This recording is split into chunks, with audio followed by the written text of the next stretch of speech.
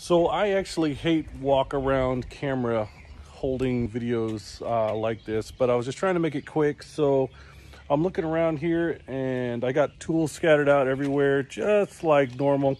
So I thought this was only gonna take me a few minutes because it's just an oil change and I'm taking the wheel spacers off. But like normal, um, I was trying to save money and I was, this was on sale. So I only need 6.6 .6 quarts and I was like, oh, cool this is 12 quarts. Well, it's in a bag with no way to uh, measure it. So that is not going to save me time because I'm going to have to measure every single quart when I put it in there and that's pretty annoying. Also, I'm going to take the wheel spacers off because we're actually going off-road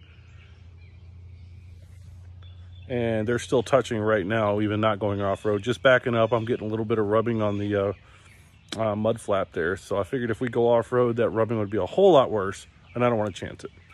I like the way they look, but uh, if my vehicle is not practical, I don't think I want them. So a friend of mine told me to take them off, put them on the shelf, and if I don't use them by next year, go ahead and sell them. Um, I probably will do that.